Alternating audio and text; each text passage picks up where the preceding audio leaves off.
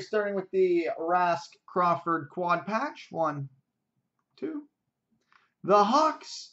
And now for the Blues Wings six way patch. One, two. The Red Wings. So there we go, boys and girls.